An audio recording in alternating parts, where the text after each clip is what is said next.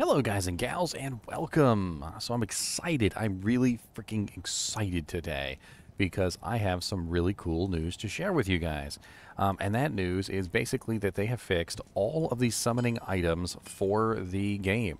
Um, so, if you have ever used any item like Metalgrid to summon an Iron Golem, um, Oath to summon an Iron Golem, um, if you have ever used, uh, say, a Harmony Hydra Bow Impossible. to uh, to summon a Valkyrie, or you've used a piece to summon a Valkyrie, and you've realized that well, they don't exactly, you know, stay.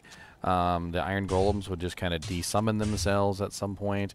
Um, the Valkyries would just kind of, you know, go away at some point, and they would never come back. Like you could summon them, but but they would just as soon as they were summoned they would disappear. So it didn't really work out very well to your advantage to have this particular summon on your character. Now granted when you switch weapons um, they should still disappear uh, but this one is not. Very interesting. Huh. Um, so I guess maybe the fix that they made also made it so that the Valkyries stay despite you not having the item on anymore? That seems a little odd. Um, so it looks like you could keep. Oh no, there we go. Okay, so they should desummon when you take off the item, uh, which which is what should happen. Um, the Iron Golem, however, had the really coolest change, uh, which is basically where the Iron Golem no longer disappears. Um, so if I were to put on the uh, Metalgrid Amulet, um, or for instance the Oath Sword, either one, um, I would then have the Iron Golem ability. So the Oath Sword has level 17 Iron Golem, and the um, Metalgrid Amulet has a level 22 Iron Golem. And I could take an item, like for instance, maybe something like Beast. I could throw that on the ground. I could throw my Metalgrid on, and I'll have the skill to summon an Iron Golem. I actually have two skills right now. Um, you can tell the difference between them by the levels. So the level 17 one is the Oath, and the level 22 one is the uh, Metalgrid. You can't have two at one time, so don't try casting two. You're just going to waste your item. Um, and uh, if you take off the item, he will disappear.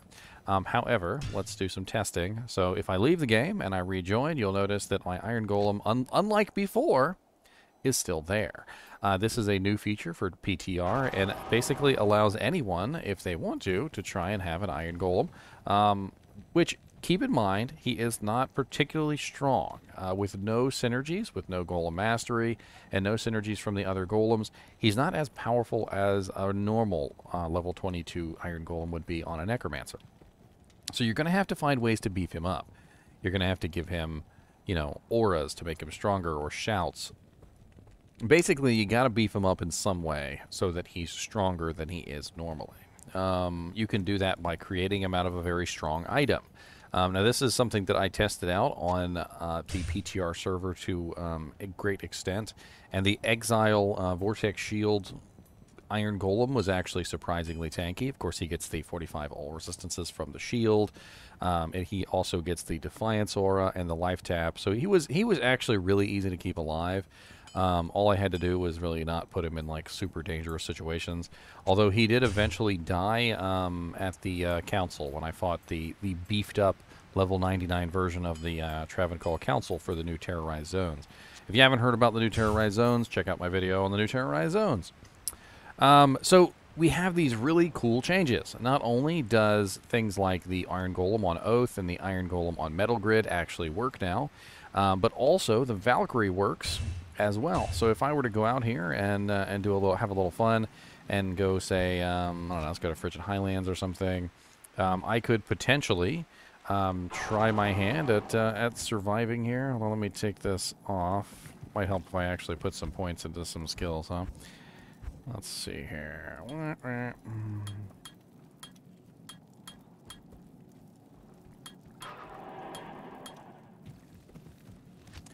And we need an aura. Let's use something to keep him alive. We're not so much worried about ourselves. Let's just grab some salvation to keep our little our little buddy alive.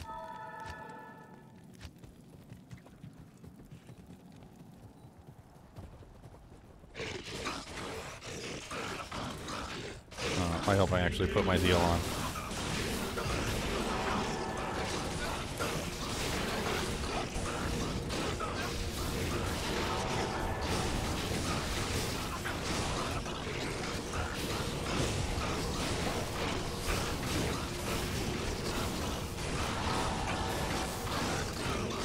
No, my Iron Golem. No.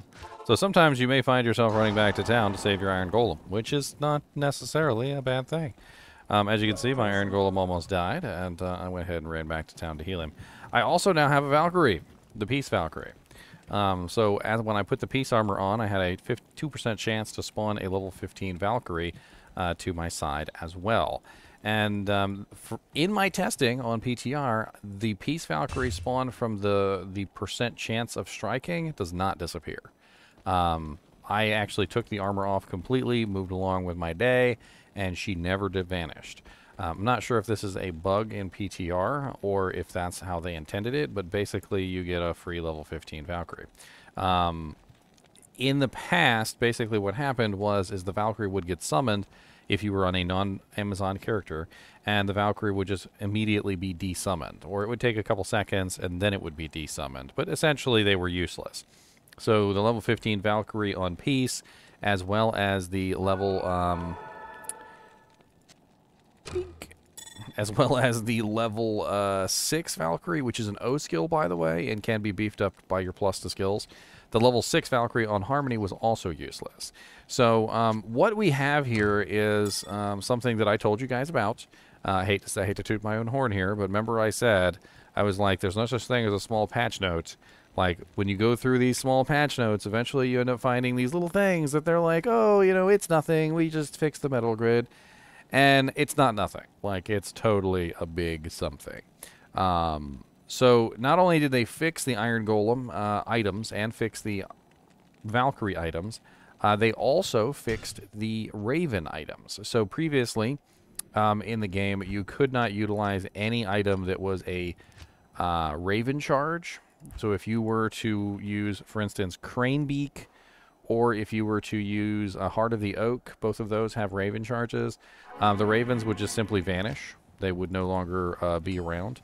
That you summon them, and as soon as you would summon them, they would go away. If you guys want to see that for yourself, um, if you take a look at my Cranebeak video, which I just, just did recently, um, I literally uh, demonstrate the fact that when you summon the Raven, they would summon, and then they would immediately disappear. Um, but now you can actually have all five Ravens up with you if you're using Hoto, so a nice little buff to Hoto. Uh, if you guys are unaware, Ravens are actually extremely useful. It's not about their damage, it's about their blinding effect. So the Ravens will constantly swarm around you and they will blind targets. Um, so as they're running around, you know, doing their thing, they're basically just going to keep pecking out the eyes of anyone who comes to fight you, and uh, and blinding them, which makes it much harder for those monsters to actually hit you or dish out any damage. Now, granted, if they're dead, they're not going to be uh, dishing out any damage to you anyway, but it's basically uh, free ravens, free level, uh, what is it, level 14 ravens on Hoto, and there are also ravens on the Cranebeak weapon, Hi if you ever find that. And um, it's not even really that expensive to repair. As you can see, I used five charges of the Ravens, and it's only 2,968 to repair the Hoto. Um, I could probably burn all the charges real quick, just for fun.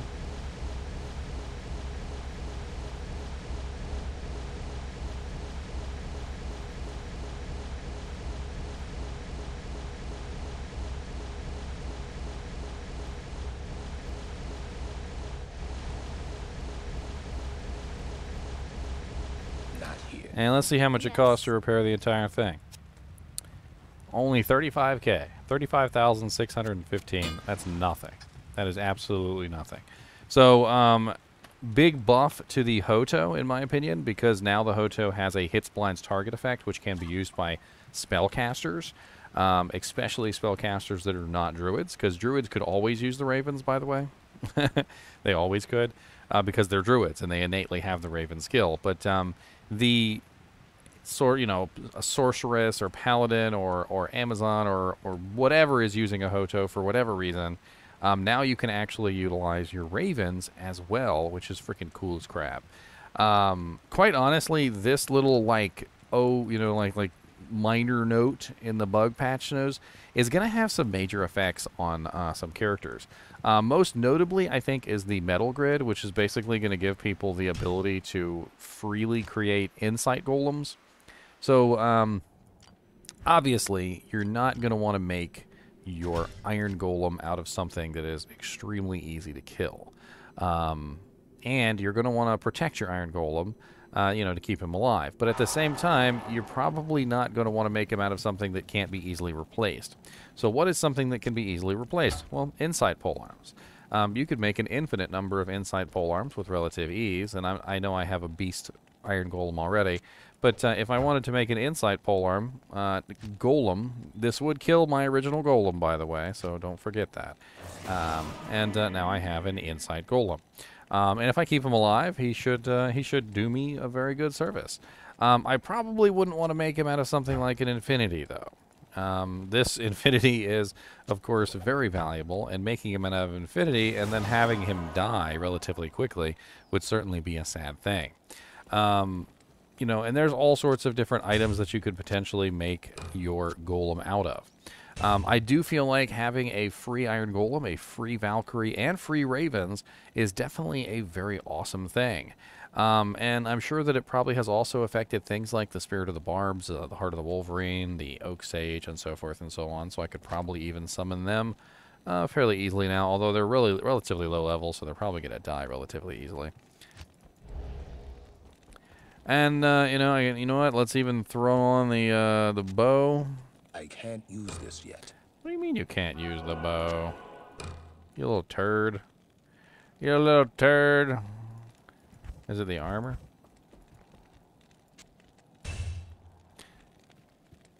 What? Wait. How did I suddenly lose the dexterity to, to wield the item that I was literally wielding earlier? It's amazing. Ah, yes, the uh, the Mara's Kaleidoscope was giving me five stats.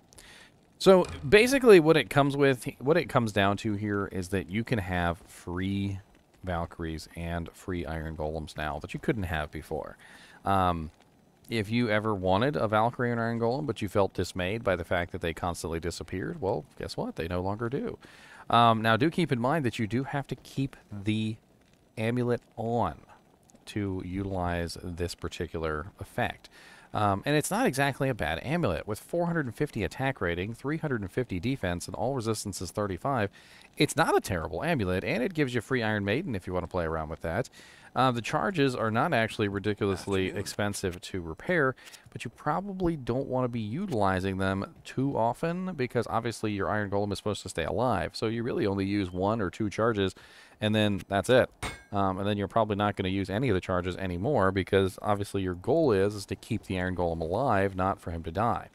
Um, however, do keep in mind that if you die, the Iron Golem will die, and if you take off the amulet, the Iron Golem will die. Um, so definitely don't want to take off the amulet and lose your precious Infinity Iron Golem, as I just did. Um, I make these mistakes so that you don't have to. Now, um, you could also make them out of a really tanky item like an Exile, and granted, the uh, Oath Sword also has this effect. I don't know why the Oath Sword is made in a, uh, a Phase Blade. I need to fix that. Um, but um, you definitely would not want to you put the Oath Sword in an ethereal item if you wanted this effect. Now, granted, it has 14 level 17 Iron Golem charges, so if you did make an ethereal Oath, as I talked about earlier, you don't necessarily want to be spamming this. So you could theoretically use an ethereal Oath, um, you know, item and burn the charges one at a time, and probably it would last you for a long time, assuming that you keep your Iron Golem alive. However, if your Iron Golem dies on a regular basis, then you're going to burn through all 14 charges relatively quickly. And do keep in mind that if you make this an ethereal item, you're not going to be able to repair the charges. Um, all in all, really cool update uh, so far. Uh, I also have a video on the terror zones, which is really awesome. There were a lot of other minor patch fixes that uh, that really were minor patch fixes. Uh, but um, but we definitely did have some very interesting ones. Um, the Metalgrid amulet, the um, the Valkyrie being fixed, uh, the uh, the oath sword being fixed essentially, and also there were quite a few lines in here basically about keeping the Iron Golem from despawning just in general, not just not just charged items. Um, apparently there were a couple different lines about the Iron Golem. Uh, fixed an issue where Iron Golems could lose an aura granted by an item they were created with when the Golem was frozen. Uh, fixed an issue where Iron Golems created in a previous game would disappear instead of teleporting to you. Fixed an issue where environmental... Um, fixed an issue where Iron Golems summoned through a charge of a skill granted by Metalgrid, example, would disappear when performing an inventory update. fixed an issue where Iron Golems created by a charge skill would not save between games. So the Iron Golem, along with the Valkyrie and the Ravens, all received some very nice love today. And uh, I'm going to leave you with a really funny one. For some reason or another, the Iron Golem got nerfed. I mean, not the Iron Golem, the Blood Golem got nerfed. I don't know why the Blood Golem deserved a nerf, but he did. Uh, difficulty penalties for life drain now apply to the Blood Golem's attacks. Fixed an issue where Blood Golem was not correctly stealing life from a PvP opponent. Um, so basically, the Blood Golem's lifesteal was not applying difficulty penalties, which means he had better lifesteal in Nightmare and Hell difficulty than he should have. And they basically restored the penalties to the Blood Golem. so the Blood Golem has now uh, now been nerfed. I don't know why the Blood Golem deserved a nerf, but there you go. Anyway, as always, I do appreciate you guys and gals watching my videos, and uh, I hope you're uh, interested in Metalgrid and also the Valkyries now, because they can actually be used. And, uh, and if you have a Hoto, your Ravens can actually be used, which is exciting. And as always, keep creating Iron Golems.